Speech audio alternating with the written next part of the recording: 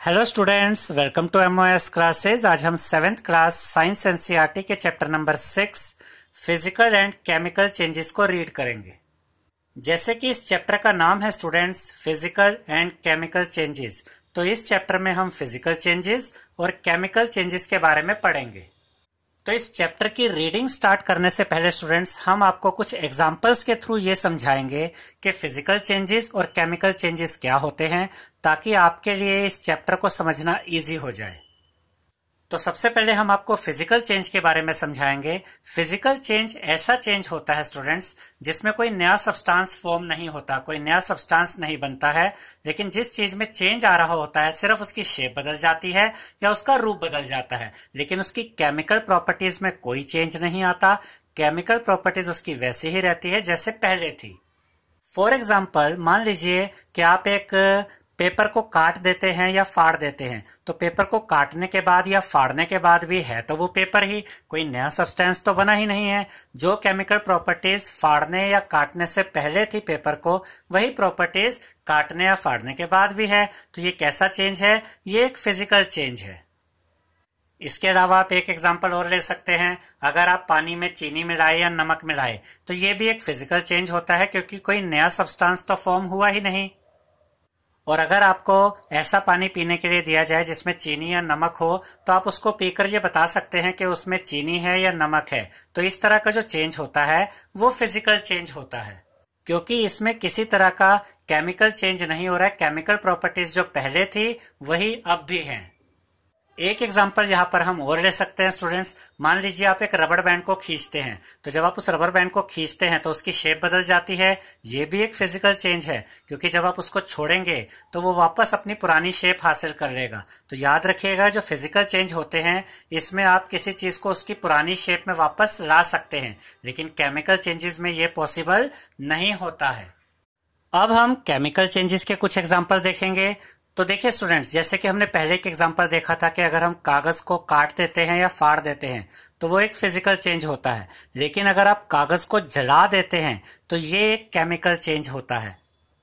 कागज़ को जलाने से एक नया सब्सटेंस तैयार होता है स्टूडेंट्स जिसे हम ऐश या राख कहते हैं, और ये केमिकली बिल्कुल डिफरेंट होता है उस कागज़ से जिसके जलने से ये बना है। और आप जले हुए कागज़ को वापस पुराने कागज़ की तरह नहीं बना सकते हैं। इसका मतलब जो केमिकल चेंजेस होते हैं, ये इरिवर्सिबल होते हैं। यानी केमिकल चेंजेस में आप दोबारा किसी चीज़ को उसके पुराने रूप में नहीं ला सकते हैं। हमने फ़िज़िकल चेंज में एक एग्ज़ाम्पल और देखा था स्टूडेंट्स कि अगर आप पानी में नमक या चीनी डालते हैं तो ये एक फ़िज़िकल चेंज होता है और आप पानी पीकर ये बता सकते हैं कि उसमें नमक है या चीनी है। अब जो एग्ज़ाम्पल हम आपको बता रहे हैं, उसको ध्यान से समझिएगा स्टूडेंट्स वो केमिकल चेंज का एग्ज़ाम्पल है। कि वाटर कैसे बनता है? हम जानते हैं वाटर हाइड्रोजन और ऑक्सीजन के मिलने से बनता है। हाइड्रोजन भी गैस है और ऑक्सीजन भी गैस है और हाइड्रोजन और ऑक्सीजन के मिलने से जो नया सब्सटेंस बना, वो वाटर है और वाटर गैस नहीं होता, बल्कि लिक्विड होता है। यानी कि हाइड्रोजन और ऑक्सीजन के मिलने से एक नया सब्सटेंस तैयार होता है। इसीलिए हम हाइड्रोजन और ऑक्सीजन के मिलने से जो वाटर तैयार होता है, इसे केमिकल चेंज कहते हैं। और वाटर की जो केमिकल प्रॉपर्टीज़ होती है, जिन चीज़ों से वो मिलकर बना है, यानी हाइड्रोजन और ऑक्सीजन से, उन दोनों से बिल्कुल डिफरेंट होती है।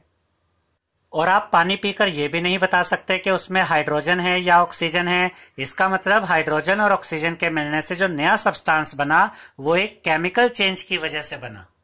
यहाँ पर हम एक एग्ज़ाम्पल और देख सकते हैं स्टूडेंट्स आपने देखा होगा कि आपकी मदर कर्ड यानी कि दही कैसे बनाती हैं? उसके लिए वो दूध को गर्म करते हैं और उसमें थोड़ा सा दही डाल देते हैं। और उसके बाद वो दूध दही, यानी कर्ड में चेंज हो जाता है। तो दूध का दही में चेंज होना एक केमिकल चेंज है और दही बनने के बाद आप उसको वापस दूध में यानी मिल्क में कन्वर्ट नहीं कर सकते हैं। इसका मतलब ये इरिवर्सिबल चेंज है और जो केमिकल चेंजेस होते हैं स्टूडेंट्स ये इरिवर्सिबल होते हैं। यानी कि एक बार अगर केमिकल चेंज हो गया है तो वापस उस चीज़ को पुराने रूप में नहीं लाया जा सकता है। और जो नई चीज़ बनती है, उसकी केमिकल प्रॉपर्टीज़ उस चीज़ की केमिकल प्रॉपर्टीज़ से बिल्कुल डिफरेंट होती है, जिससे कि वो बनी है। अब हम इस चैप्टर को रीड करेंगे students every day you come across many changes in your surroundings हर रोज आप अपने आसपास बहुत सारे चेंजेस देखते होंगे. दीज चेंजेस में इन्वॉल्व वन और मोर सब्सटेंसेस इन चेंजेस में एक सब्सटेंस या एक से ज़्यादा सब्सटेंस इन्वॉल्व हो सकते हैं. For example your mother may ask you to dissolve sugar in water to make a cold drink example के तौर पे, अगर आपकी मदर आपसे पानी में शुगर यानी कि चीनी डालकर कोल्ड ड्रिंक बनाने के लिए कहती हैं तो देखिए उसके बाद क्या कहा गया है? Making a sugar solution is a change तो पानी और चीनी के मिलने से जो शुगर सोल्यूशन बना, ये भी एक चेंज है। Similarly setting curd from milk is a change इसी तरीके से दूध से दही बनाना भी एक चेंज है। समटाइम्स मिल्क बिकम्स सावर कई बार दूध खट्टा हो जाता है। Souring of milk is a change souring of milk भी एक चेंज है। यानी दूध का खट्टा हो जाना भी एक चेंज है। इसके बाद हमसे कहा गया है stressed rubber band also represents a change stressed rubber band यानी कि खींचा हुआ रबर बैंड भी एक चेंज को ही दिखाता है। क्योंकि रबर बैंड के खींचने से उसकी शेप चेंज हो जाती है। इसके बाद हमसे कहा गया students in this chapter we shall perform some activities इस चैप्टर में हम कुछ एक्टिविटीज़ देखेंगे and study the nature of these changes और इन चेंजेस की नेचर को स्टडी करेंगे। Broadly these changes are of two kinds physical and chemical तो यहाँ पर हमसे ये कहा गया स्टूडेंट्स कि बेसिकली दो ही तरह के चेंजेस होते हैं। या तो फ़िज़िकल चेंजेस होते हैं या केमिकल चेंजेस होते हैं। अब हमें फ़िज़िकल चेंजेस के बारे में कुछ एक्टिविटीज़ यहाँ पर दी गई है स्टूडेंट्स अब हम इन एक्टिविटीज़ को स्टडी करेंगे. Activities 6.1 cut a piece of paper in four square pieces हमें एक पीस ऑफ़ पेपर दिया गया है. हमें उसे फोर स्क्वायर पीसेज में कट करना है. उसके बाद हमसे कहा गया है, cut each square piece further into four square pieces. इसका मतलब यह है स्टूडेंट्स कि जिस पीस ऑफ़ पेपर को हमने फोर स्क्वायर पीसेस में काटा था, उसमें से हर स्क्वायर पीस को हम फिर से आगे चार स्क्वायर पीस में काटेंगे। जैसे कि यहाँ पर हमें दिया गया है, देखिए हमारे पास एक पीस ऑफ़ पेपर था, हमने उसे चार स्क्वायर पीस में काट लिया। ये एक पूरा स्क्वायर पीस ये एक पूरा स्क्वायर पीस फिर ये भी एक स्क्वायर पीस है, ये भी एक स्क्वायर पीस है। और उसके बाद हमसे ये कहा गया कि जो ये चार स्क्वायर पीस जैसे कि यहाँ पर आए हैं, अब इनमें से हर स्क्वायर पीस को भी चार स्क्वायर पीसेस में काट दीजिए। तो देखिए इसको यहाँ पर काट के भी दिखाया गया है। इसको फिर से हमने यहाँ पर चार स्क्वायर पीस में काटा। ऐसे ये जो स्क्वायर पीस है, ये भी चार स्क्वायर पीस में कटेगा। ये स्क्वायर पीस भी चार स्क्वायर पीस में कटेगा और ये स्क्वायर पीस भी चार स्क्वायर पीस में कटेगा।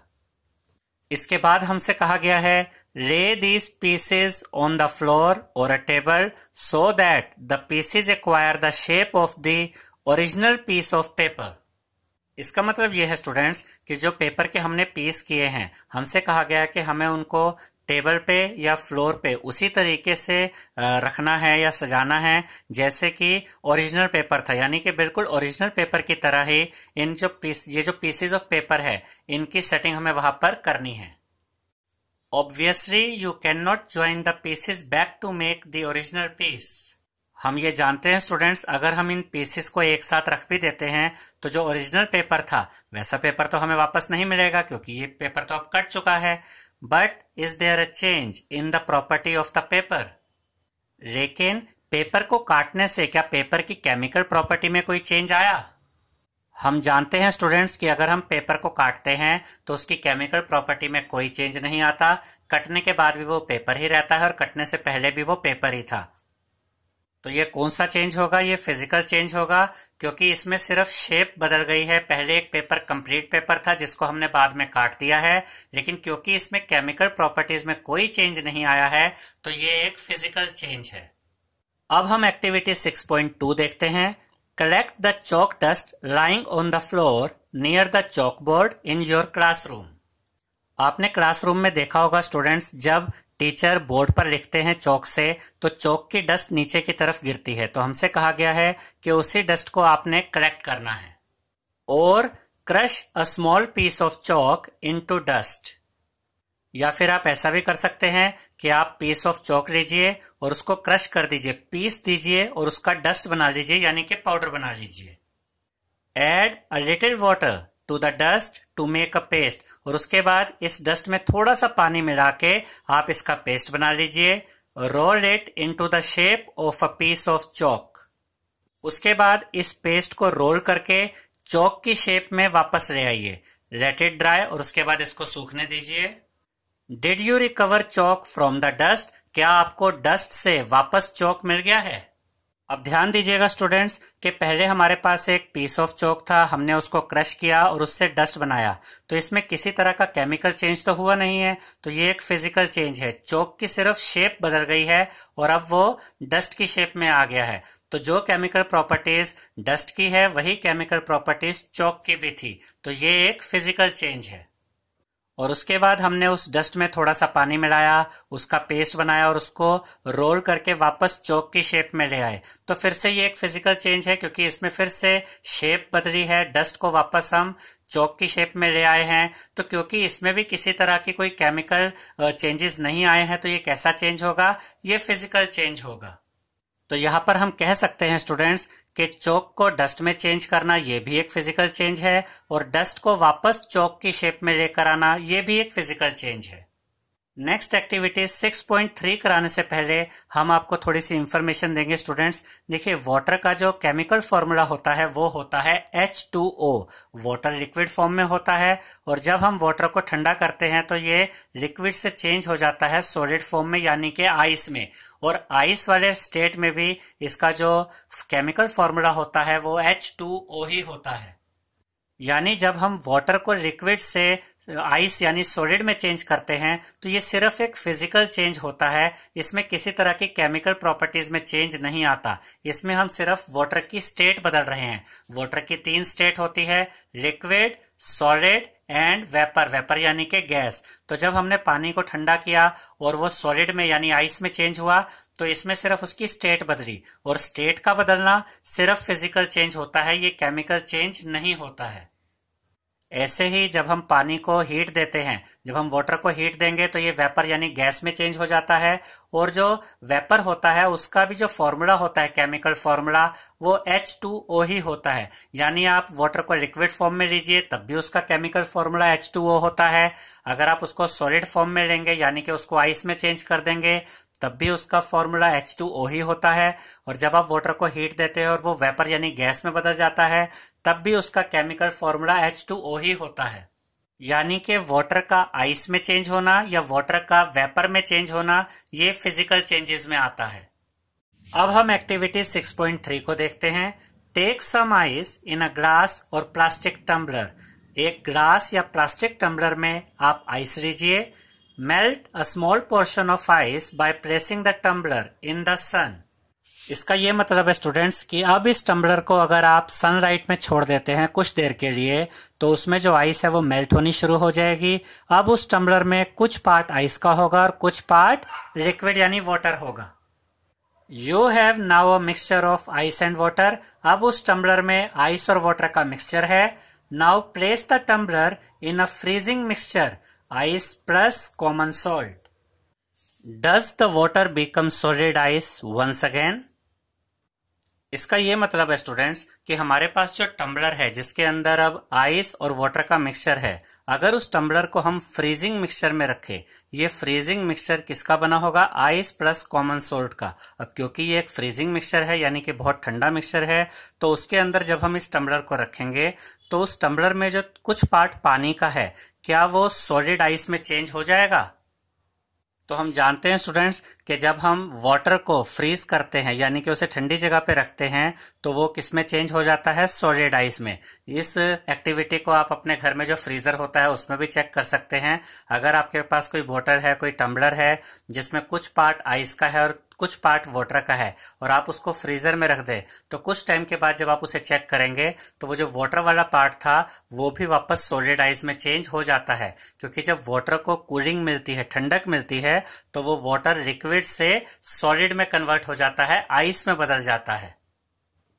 और ये भी एक फ़िज़िकल चेंज होता है। यानी कि वाटर का लिक्विड से सॉलिड में कन्वर्ट होना आइस में चेंज होना एक फ़िज़िकल चेंज होता है। अब हम एक्टिविटी 6.4 देखेंगे।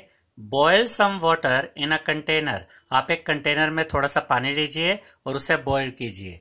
Do you see the steam rising from the surface of water तो क्या आपको स्टीम बनती हुई नज़र आती है? स्टीम ऊपर की तरफ़ जाती हुई नज़र आती है? तो याद रखिएगा स्टूडेंट्स कि जब भी आप वाटर को बॉयल करते हैं तो वो वेपराइज होना शुरू हो जाता है, यानी कि स्टीम में कन्वर्ट होना शुरू हो जाता है और वो स्टीम ऊपर की तरफ़ उठती हुई नज़र आती है। इसके बाद हमसे कहा गया है hold an inverted pan by its handle over the steam at some distance from the boiling water observe the inner surface of the pan do you see any droplet of water there अब इसको ध्यान से समझिएगा students यहाँ पर हमसे कहा गया है कि जहाँ पर आप पानी को बॉयल कर रहे हैं, जहाँ पर वो पानी स्टीम के रूप में ऊपर जा रहा है तो कुछ डिस्टेंस पे आपको क्या करना है, एक पैन को अप, उसके हैंडल से पकड़ना है और उसको इन्वर्टेड यानी उल्टा करके थोड़े से डिस्टेंस के ऊपर उसकी आप एडजस्ट कर देंगे। और उसके बाद हमसे कहा गया है कि उसका जो इनर सरफेस है पैन का क्योंकि आपने पैन को उल्टा करके एडजस्ट किया हुआ थोड़े से डिस्टेंस पे जहाँ स्टीम ऊपर की तरफ़ उठ रही है उसके ऊपर हमें वहाँ पर इनर सरफेस ऑफ़ पैन को चेक करना है। Do you see any droplet of water there क्या आपको उस पैन पे कुछ वाटर की ड्रॉपलेट्स नज़र आती हैं? तो याद रखिएगा स्टूडेंट्स कि, जब भी स्टीम को कूलिंग मिलती है थोड़ी सी ठंडक मिलती है तो वो स्टीम वाटर ड्रॉपलेट्स में चेंज हो जाती है। तो जब स्टीम ऊपर की तरफ़ उठ रही थी और हमने उसके थोड़े से डिस्टेंस पे ऊपर की तरफ़ एक पैन को इन्वर्टेड करके, यानी कि उल्टा करके वहाँ पर एडजस्ट कर दिया तो जब वो स्टीम उस पैन से टकराएगी तो जो पैन है, उसका टेम्परेचर तो कम है तो जब वो स्टीम उस पैन से टकराएगी तो वहाँ पर उसे कूलिंग मिलेगी थोड़ी सी ठंडक मिलेगी, और वो स्टीम कन्वर्ट हो जाएगी वाटर ड्रॉपलेट में तो उस पैन पे हमें वाटर की छोटी छोटी ड्रॉपलेट्स नज़र आएँगी। तो इस एक्टिविटी में हमने क्या सीखा स्टूडेंट्स कि जब भी स्टीम को कूलिंग मिलती है तो वो वाटर ड्रॉपलेट में चेंज हो जाती है, और ये भी एक फ़िज़िकल चेंज होता है। अब हम एक्टिविटी 6.5 देखते हैं स्टूडेंट्स इसमें हमसे कहा गया है hold used hacksaw blade with a pair of tongs आपके घर में जो ब्रेड होता है, जो यूज्ड ब्रेड है, आप टोंग यानी चिमटे की मदद से उसको पकड़ेंगे. देखिए, आपने ब्रेड के एक हिस्से को चिमटे से पकड़ना है और उसका जो दूसरा टिप है, जो दूसरा एंड है, वो फ्री रहेगा, यानी कि वो ओपन रहेगा.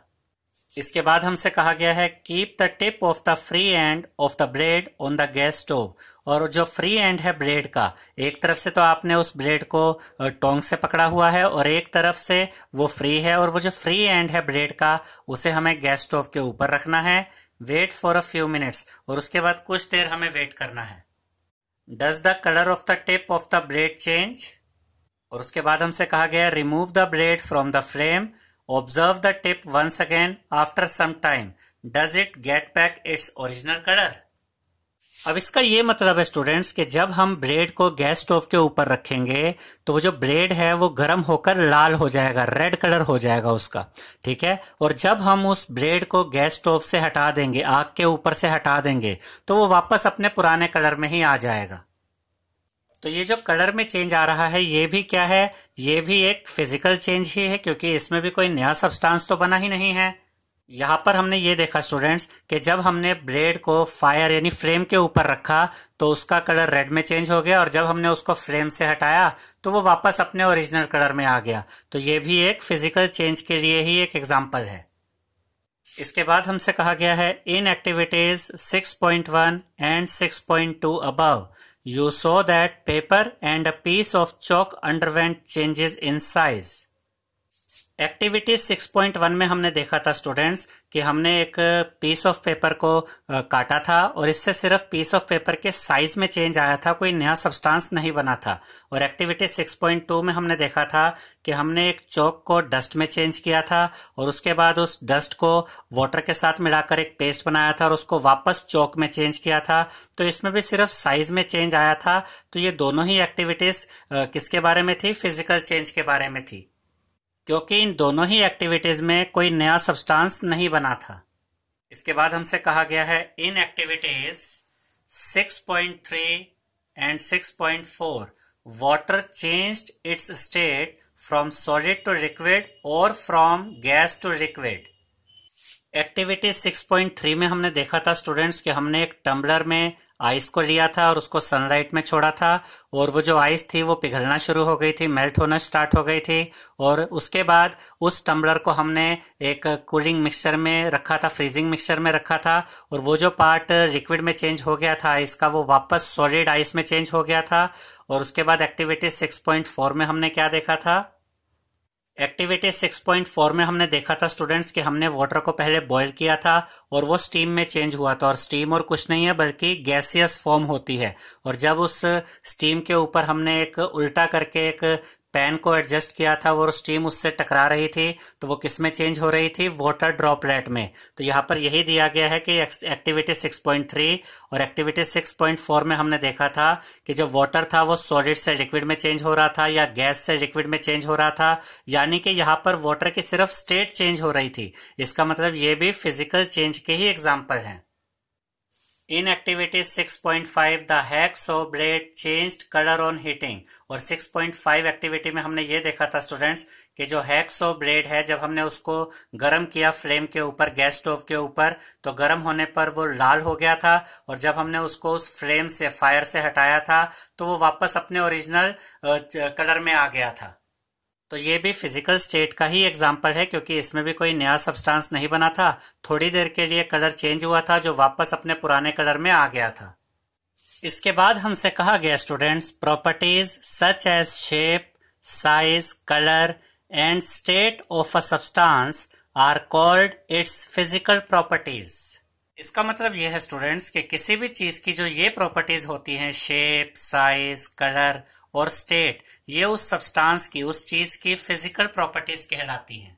इसके बाद हमें दिया गया है a change in which a substance undergoes a change in its physical properties is called a physical change मतलब ये है कि अगर किसी सब्सटेंस की फ़िज़िकल प्रॉपर्टीज़ में कोई चेंज आता है तो ये फ़िज़िकल चेंज कहलाता है। यानी अगर किसी सब्सटेंस की शेप में चेंज आएगा या उसके साइज़ में चेंज आता है, या उसके कलर में चेंज आएगा, या उसके स्टेट में चेंज आएगा तो ये क्या कहलाएगा? ये फ़िज़िकल चेंज कहलाएगा, क्योंकि ये सारी प्रॉपर्टीज़ क्या हैं?